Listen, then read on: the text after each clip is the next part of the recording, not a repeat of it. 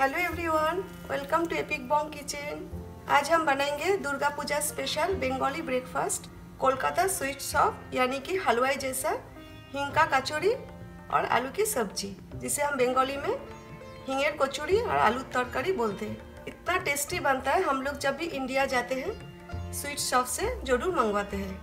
Exactly exactly वैसा ही हिंग का कचौड़ी एंड आलू का सब्ज़ी आज मैं आपका साथ शेयर करूँगी।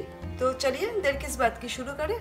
अगर मेरा रेसिपी सबको अच्छा लगे तो मेरा चैनल को सब्सक्राइब कर दीजिए और बेल आइकॉन को भी प्रेस करें ताकि नया वीडियो का नोटिफिकेशन आपको मिल जाए और फ्री में वीडियो देखने को मिले।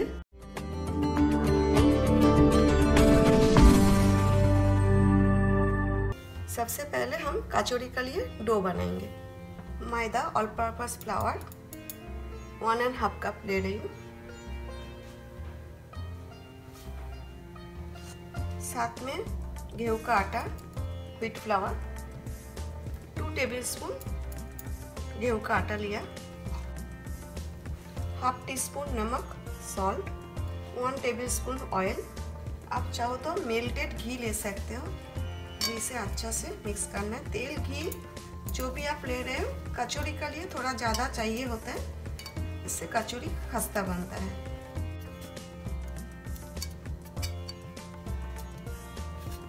इधर मैंने हाफ़ कप गुनगुना पानी लिया है। लुकवाम वाटर थोड़ा थोड़ा करके हमें पानी डालना है। पहले नीट कर लेते हैं, उसका बाद मैं बताती हूँ हमें कितना पानी लगा। बाई मिस्टेक अगर आप ज़्यादा पानी डाल दोगे तो फिर आपको थोड़ा सा मैदा और ऐड करना पड़ेगा। अच्छा मैंने आटा मिक्स किया है। मैं हमेशा पूरी कचौड़ी में थोड़ा सा आटा मिक्स करती हूँ। इससे क्या होता है लॉन्ग टाइम तक सॉफ्ट रहेगा। क्योंकि मैदा का पूरी कचौड़ी लॉन्ग टाइम तक सॉफ्ट नहीं रहता है, मैदा रबड़ ही होता है, इसीलिए।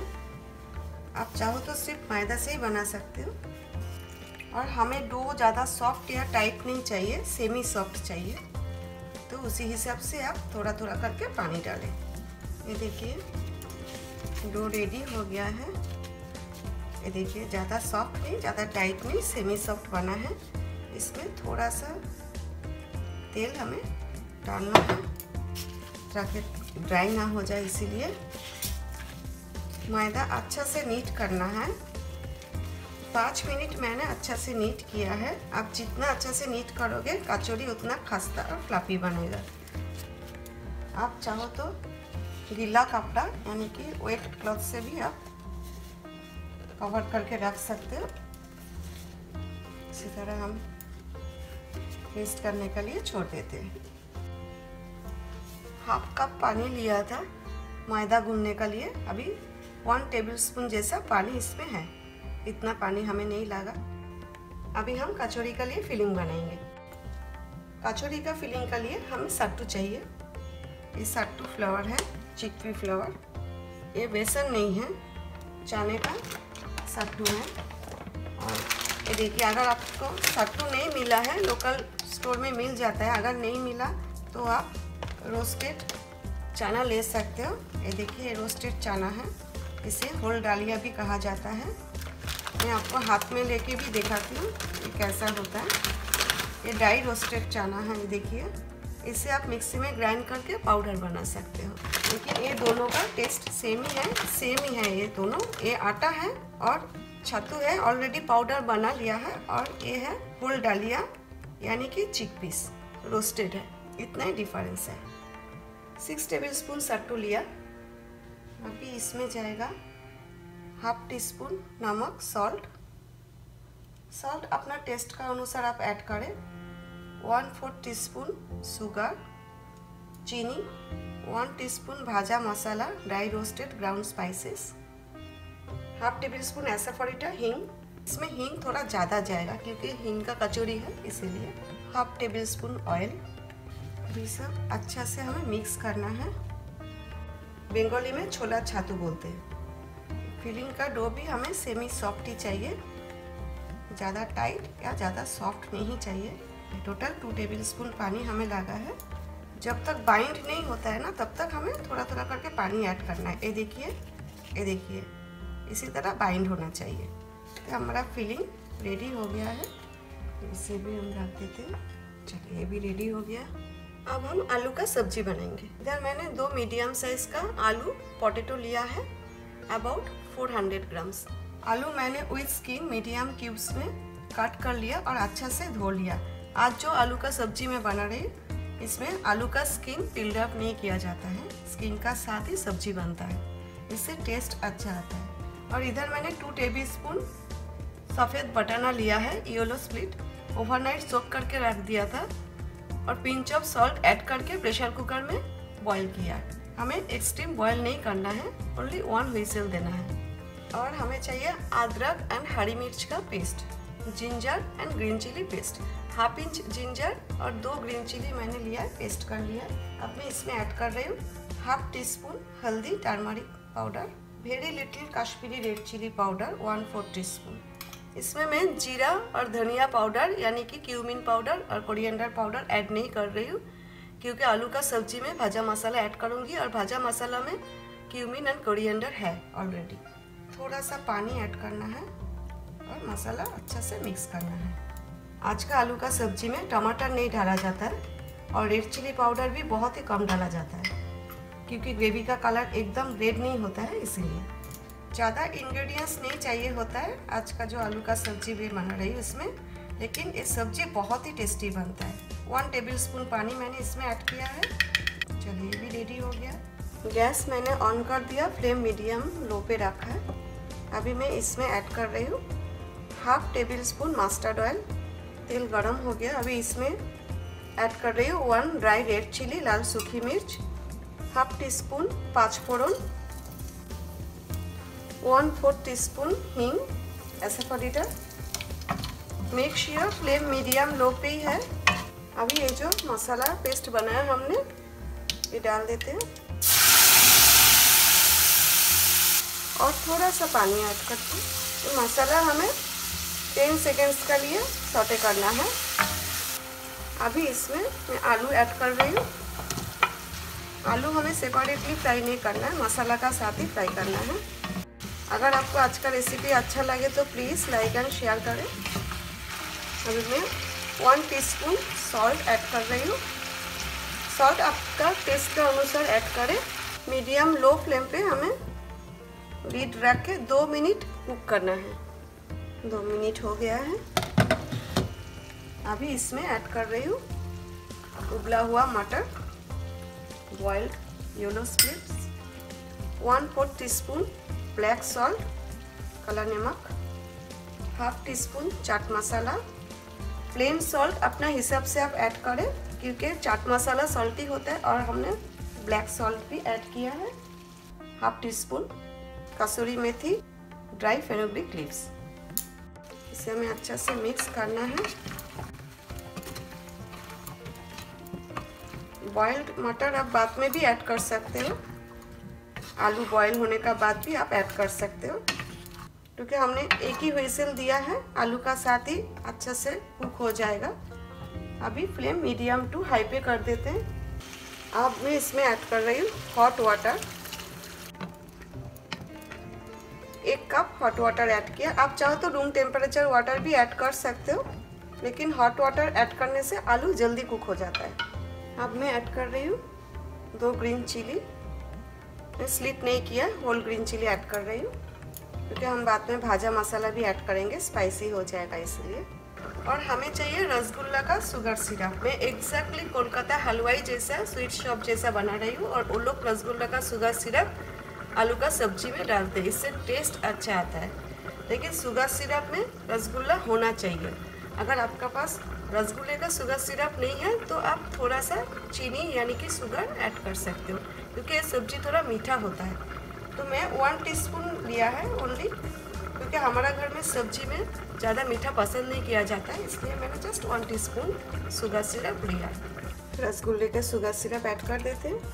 आपको कितना ग्रेवी चाहिए, उसी हिसाब से पानी ऐड करें, लेकिन ये आलू का सब्ज़ी में ग्रेवी ज़्यादा नहीं होता है, थोड़ा थिक होता है। ग्रेवी होता है, लेकिन बहुत कम होता है। अभी फ्लेम मीडियम टू हाई पे कर देते हैं। और फाइव टू सिक्स मिनट्स हमें कुक करना है। लीड पूरा कवर नहीं करना है। थोड़ा गैप रखना है ऐसा। अदरवाइज़ जो ग्रेवी है, वो ऊपर आ जाएगा। लेकिन बीच में हमें एक बार चेक करना है। पाँच मिनट हो गया। बीच में मैंने एक बार चलाया था। ये देखिए, आलू अच्छा से कुक हो गया, आलू का स्किन भी निकालना शुरू हो गया देखिए अभी ग्रेवी में थोड़ा थिकनेस लाने के लिए चार आलू मैंने ले लिया है और थोड़ा सा ग्रेवी भी मैं इसमें ले रही हूँ। इसे अच्छा से मैश करके फिर ग्रेवी में डालना है। और फ्लेम अभी एकदम लो पे रख देते हैं।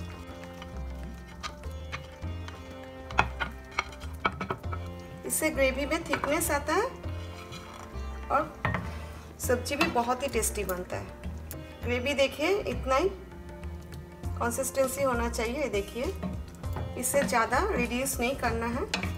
थोड़ा ग्रेवी रहता है, एकदम ड्राई भी नहीं करना है। अभी मैं इसमें ऐड कर रही हूँ one teaspoon bhaja masala dry roasted ground spices panch phoron and भाजा मसाला का लिंक मैंने इस वीडियो का एंड पे दे दिया है। आप प्लीज़ चेक कर लीजिए। अभी हमें स्विच ऑफ़ करना है फ्लेम भाजा मसाला ऐड करने का बाद कुक नहीं करना है, फिर कलर चेंज हो जाएगा, डार्क ब्राउन कलर हो जाएगा ग्रेवी का।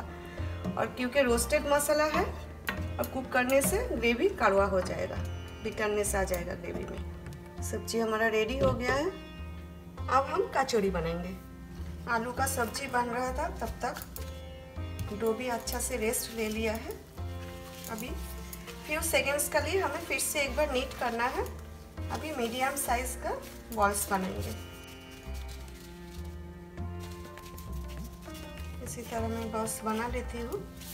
जितना क्वांटिटी का मैदा ऑल पर्पस फ्लावर और आटा, गेहूँ का आटा व्हीट फ्लावर लिया है, उसी हिसाब से टेन पीसेस कचौड़ी मैं बना रही हूँ।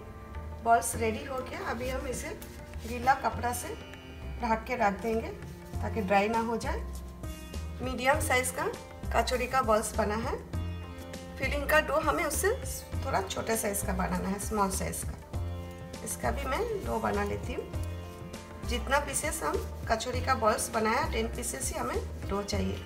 इसी तरह बना लेते हैं। थोड़ा सा फ्लैट करके ये देखिए टेन पीसेस फिलिंग का डो हमने बना लिया है।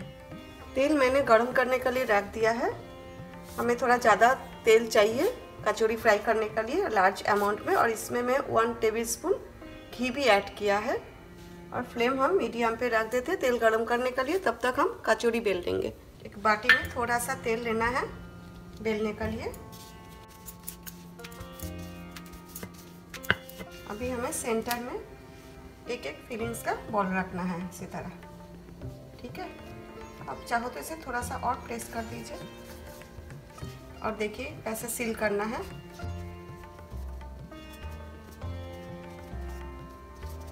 अच्छा से सील करना है, ताकि फिलिंग निकल ना जाए।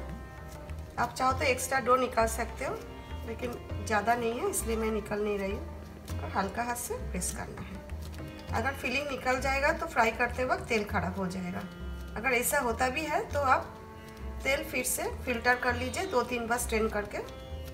ये देखिए। और एक मैं आपको दिखाती हूँ, कैसा करना है।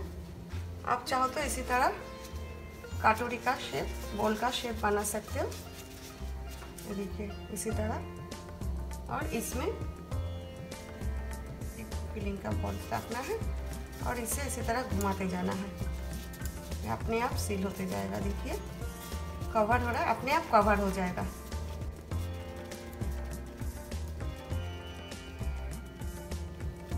ये देखिए, इसी तरह बना सकते हो, बेल के भी बना सकते हो, जैसे आपको कंफर्टेबल हो।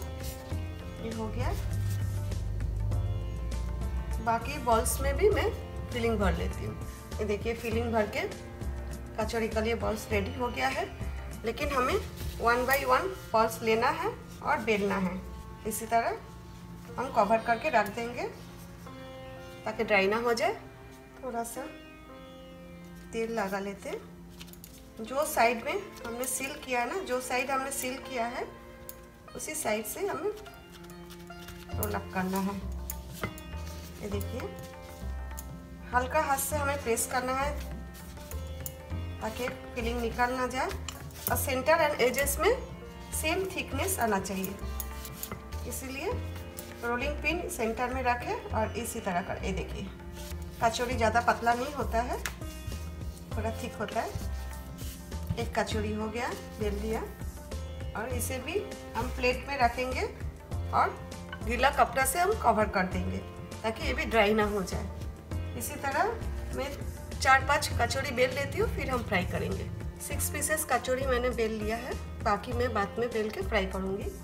तो चले अभी फ्राई कर लेते हैं। तेल गरम करने के लिए फ्लेम मीडियम पे रखा था, अभी मैं मीडियम टू हाई पे कर दिया है। हमें तेल थोड़ा ज़्यादा ही गर्म चाहिए कचौड़ी फ्राई करने के लिए। अब एक एक करके कचौरी हमें तेल में डालना है केयरफुली स्पैचुला का हेल्प से इसी तरह। प्रेस हल्का हाथ से, एकदम हल्का हाथ से बैक साइड से हमें प्रेस करना है। और घुमाना भी है इसी तरह।